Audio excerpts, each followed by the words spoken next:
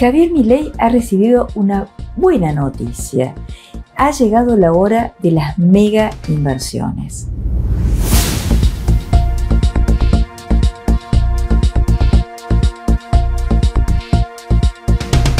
Con la aprobación del régimen de incentivo para las grandes inversiones, que todos conocemos como RIGI o RIGI, han comenzado los anuncios en la Argentina. Hacía mucho tiempo que no había anuncios de inversiones realmente de grandes montos en el país.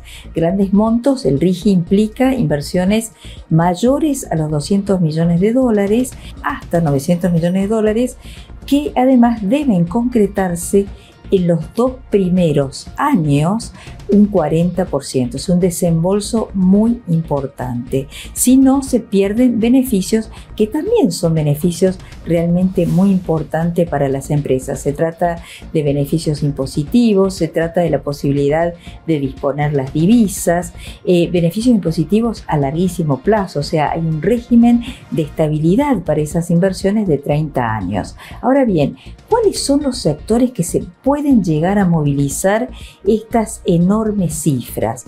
El primer sector es la energía. Eh, justamente eh, se anunció una inversión de 700 millones de dólares. Hacía mucho tiempo que en la Argentina no se anunciaba una inversión de esa magnitud para la ampliación de un tramo del gasoducto Néctor Kirchner, una obra que va a insumir alrededor de 500 millones de dólares, y otro tramo más por otros 200 millones de dólares. Este anuncio fue realizado por dos familias muy vinculadas al negocio de la energía, cuyos nombres los conocemos, los Midling, que son los dueños de Pampa Energía, y los Cielequi, que si bien es una fortuna que viene de los laboratorios farmacéuticos, también son fuertes en la petroquímica. Pero hay otras inversiones en Gatera. ¿Se acuerdan del hidrógeno verde? Lo anunció Alberto Fernández cuando estuvo en una cumbre de cambio climático. Bueno, ese proyecto durmió hasta ahora. Ahora vuelve a tomar brío porque es una inversión muy importante de 8.500 millones de dólares y este régimen parece darle estabilidad para finalmente hacer la planta en la provincia de Río Negro. Hay muchos proyectos vinculados a la energía del litio, pero los más importantes son los vinculados al cobre, que ahí se necesita, como dicen los empresarios, hundir miles de millones. En el caso del cobre se habla de proyectos por 20 mil millones de dólares. La Argentina tiene mucho de ese mineral. Dicen que incluso es un mineral de mayor calidad que el que tiene Chile al otro lado de la cordillera. Está el proyecto San José que está esperando. Ahora, ¿cómo son estos proyectos en realidad? Bueno, se trata de una sumatoria de bancos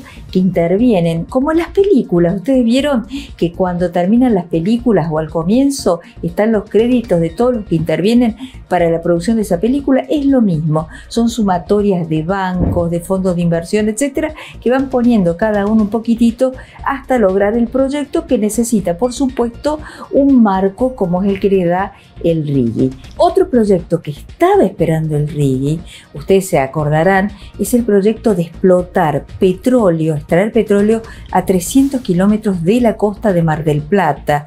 También es un proyecto inmenso, se habla de que es una segunda vaca muerta y que requiere unos 10 mil millones de dólares de inversión. Ahora, hay sectores que están muy contentos y otros que están realmente enojados con este régimen. ¿Quiénes? Las pymes que dicen, bueno, a ver, no tenemos espalda para llegar a juntar 200 millones de dólares y es probable que salga una especie de mini RIGI, por lo menos ese es el pedido de la Unión Industrial. Y hay sectores que han quedado excluidos del RIGI la industria de la alimentación y todo el sector vinculado a la agroindustria y el campo.